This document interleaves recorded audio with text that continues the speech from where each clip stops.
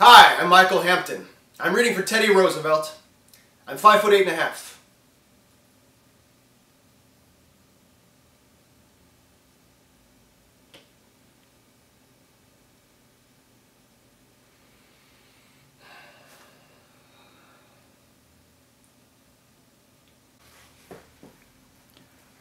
Mr. President, Secretary Taft has been waiting almost an hour now.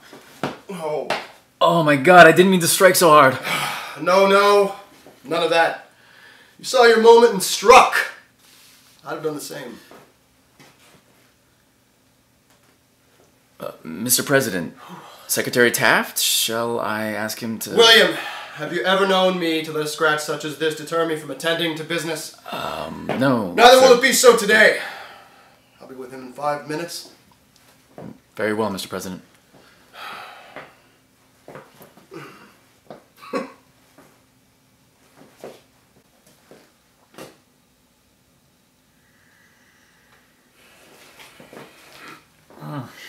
Bugger off. On your feet.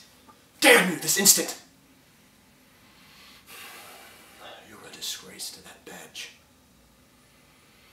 But if you would like to save your employment, be at my office at 7 a.m. and not a damn minute later. Do you hear? I'm so sorry, I'm sorry. It's great.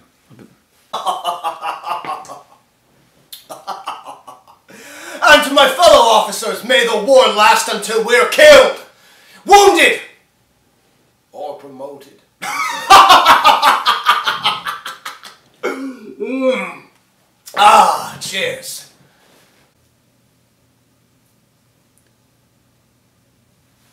Surprised to see you, Teddy. Something on your mind? Well, I understand you threatened to kill me on sight, so I've come over to see exactly when you'd like to begin the killing.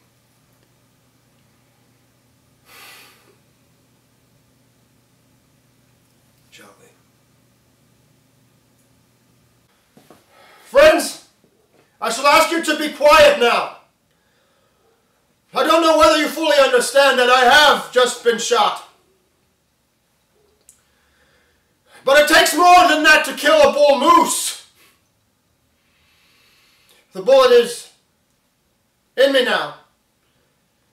So I cannot make a very long speech, but I shall try my best.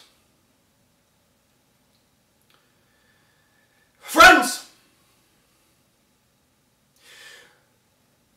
I do not care about myself, I promise you that. I do not care that I have just been shot. I do not give a rap. Not a rap.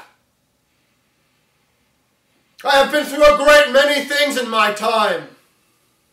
And this is one of those times. What I care for is my country!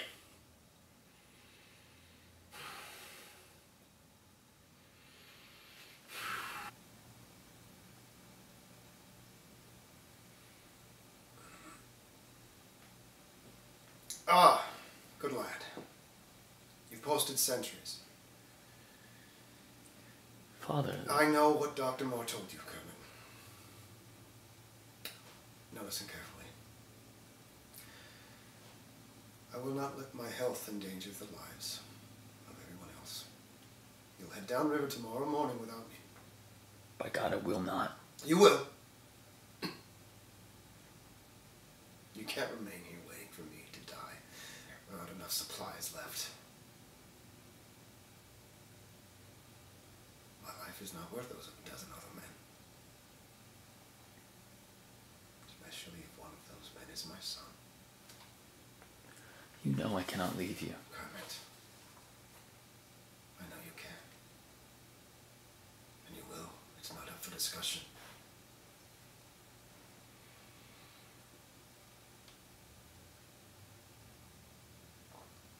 Full life, my son. I've lived more than other men do in a thousand lifetimes. But you, your story is yet to be written. Now, I want you to see those men home.